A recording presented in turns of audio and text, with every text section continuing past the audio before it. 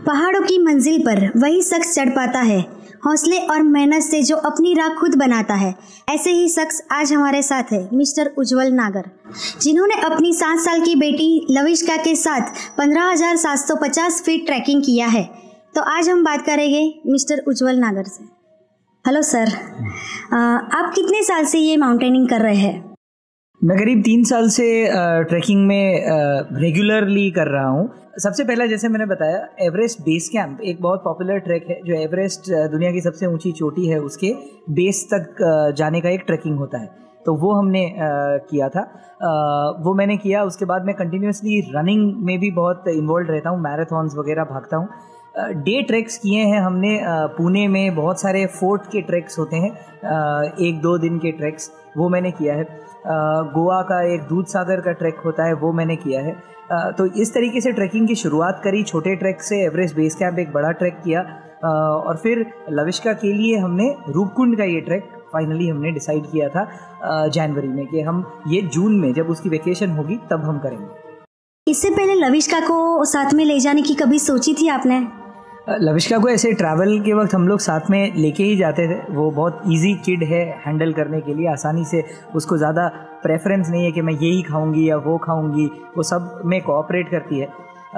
Mainly uh, ये सोचना इस तब से शुरू uh, किया जब वो एथलेटिक्स में स्पोर्ट्स में रेगुलरली uh, भाग लेती थी। तो तब मैंने ये सोचा कि क्यों ना उसको ट्रैकिंग का भी एक एक्सपोजर दिया जाए और देखते हैं कि वो कैसा करती है। तो कोई और बहुत बड़ा ट्रैक करें। उससे पहले हमने सोचा कि उसको रूपकुंड का एक ट्रैक जो एक मीडियम से थोड़ा ज़्यादा ऊंचाई का होता है आ, देखने के लिए कि वो एल्टीट्यूड को कैसे हैंडल करती है। पर उसने बहुत अच्छा हैंडल किया और अब मेरी इच्छा यह है कि मेरे सारे ट्रैक्स में वो साथ में रहे और आगे जाके अगर उसका इंटरेस्ट है तो खुद भी आगे जाए। नमस्ते दोस्तों श्री उज्जवल नागर किसी काम से पुणे गए हैं तो आज हमारे साथ है उनकी बेटी लाविष्का और ज्योति नागर। आ, सबसे पहले मुझे ये बताइए कि जब उज्जवल जी ने आपको बताया कि लविष्का को साथ ले जाने की विचार है तो आपके दिमाग में क्या क्या ख्याल आया? लविष्का वैसे तो वो तीन साल की थी तब से एथलेटिक्स की ट्रेनिंग कर रही है। जब वो चार साल की थी तब उसने उसका फ़र्स्ट ट्रैक किया था। उसके बाद भी उसने काफ़ी सारे छोटे ट्रैक किए थे लेकिन जब मुझे रूप रूपकुंड के बारे में बताया तो लाइक मुझे बहुत डर लगा क्योंकि पहली चीज़ की वो ट्रैक उत्तराखंड में है। जहाँ का मौसम की कोई ज, मतलब कुछ भरोसा नहीं होता है कभी भी आ, कुछ भी वहाँ पर चेंज हो सकता है। तो ट्रेनिंग आप कितनी भी करवा सकते हैं बच्चे को उसकी फिटनेस पे आप ध्यान दे सकते हैं लेकिन मौसम एक ऐसी चीज़ है जिस पे आपका कोई बस नहीं चलता। तो उस वजह से मुझे बहुत डर लगा। आ, उसके अलावा वो एक दो दिन के ट्रैक्स उसने किए हैं लेकिन ये ट्रैक काफ़ी बड़ा था नौ दिन का। और काफ़ी ट्रैक्स में मैं भी उसके साथ थी या उसके पापा के साथ भी गई तो दो दिन के मैक्सिमम ट्रैक्स थे।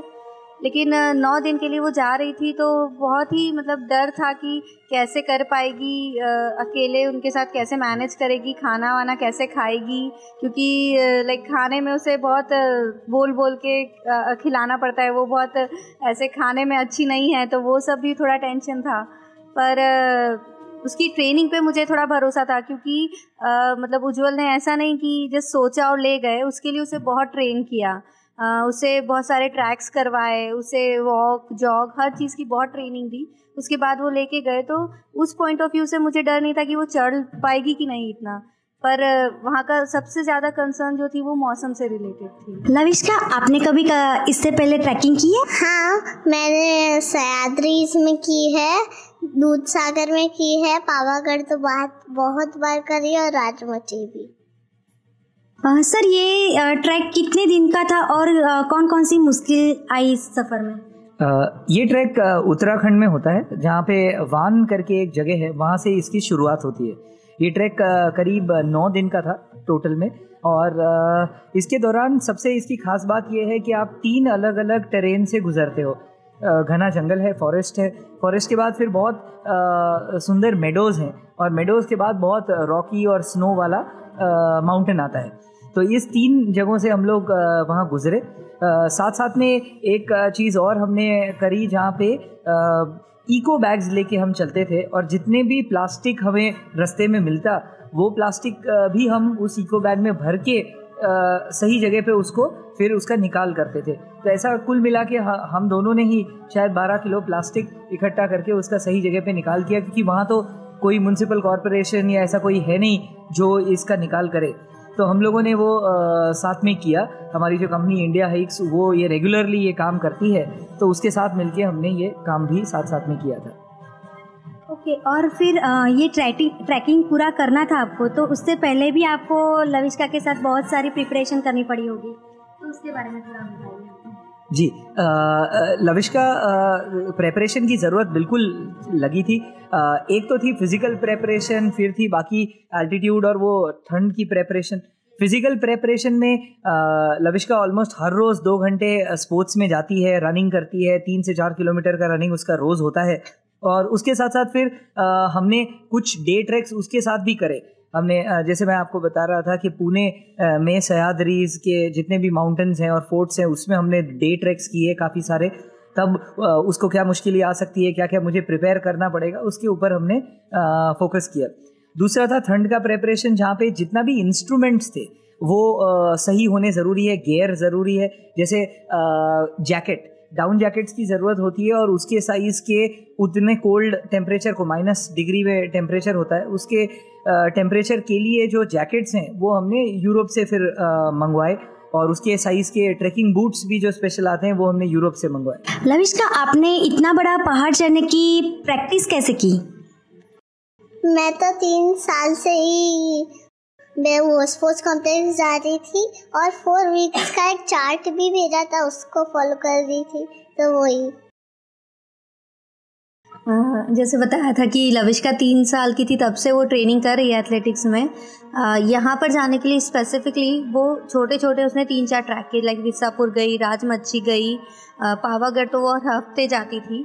उसके अलावा वो दस किलोमीटर की वॉक करती थी, एक टाइम लिमिट होती थी कि आपको ट्वेंटी मिनट्स में फाइव किलोमीटर्स भागना है, या वो सारे टारगेट्स पूरे किए। उसके अलावा जो इंडिया हाइक्स कंपनी थी, जिसके थ्रू ये लोग गए थे ट्रैकिंग पे, उन्होंने भी एक चार्ट भेजा था।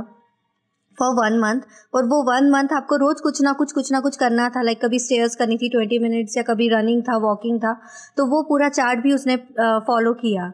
उसके बाद वो गई तो लाइक बहुत अच्छे से प्रिपेयर होकर गई थी वो फिज़िकली ज्योति जी, जब उज्जवल जी और लविष्का दोनों चले गए तो उन दोनों के बारे में आप क्या सोचती रहती थी? पूरा दिन डर ही लगा रहता था, क्योंकि उस समय टीवी पर सिर्फ़ उत्तराखंड की ही न्यूज़ आती थी कि वहाँ पर लाइक, लैंडस्लाइड हुआ है, बहुत बारिश हुई है, ये सबको लेकर बहुत चिंता होती थी। आ, बाकी ऐसा उन्हें बोलकर ही भेजा था तो वो कुछ भी मैनेज करके लाइक नेटवर्क प्रॉब्लम होती थी तो वो कुछ वो खुद जब तक कॉल कर पाते थे खुद करते थे। अदरवाइज़ वो जो बेस कैम्प था वहाँ पर किसी को मैसेज देते थे वो हमें कॉल करके बताते थे कि सब ठीक चल रहा है। लेकिन लास्ट के दो दिन तो ऐसा था कि हमें कोई कॉल ही नहीं था और हमें पहले बता दिया था कि वो दो दिन वो कॉल नहीं कर पाएँगे।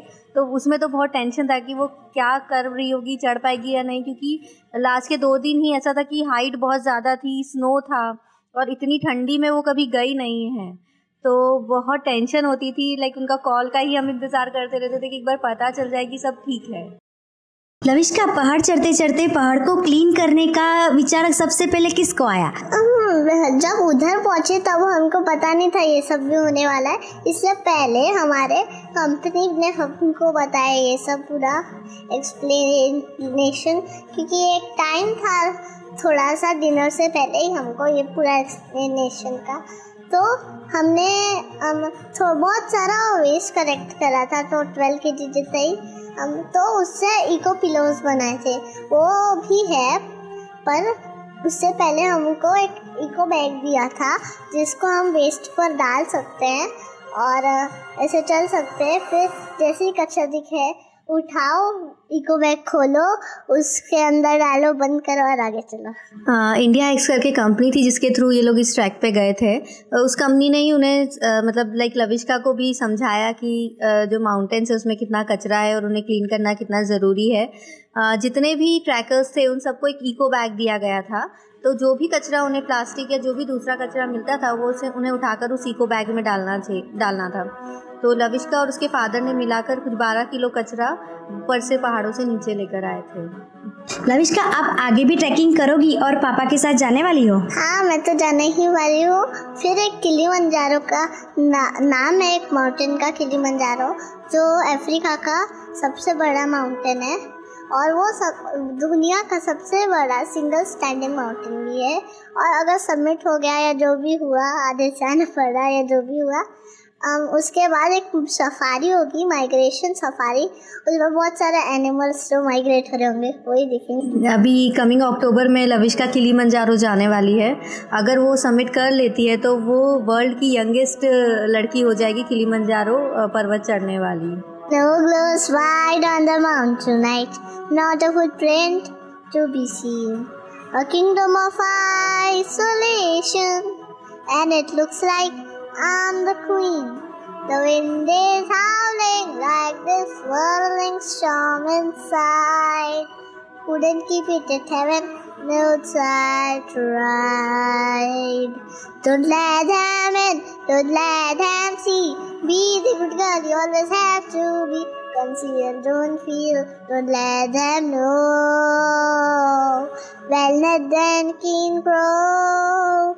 Let it go, let it go. It's a perfect girl is gone. Let it go, let it go. Till I slam the door. I don't care. Lavishka कहती है कि कर दिखाओ कुछ ऐसा कि दुनिया करना चाहे आपके जैसा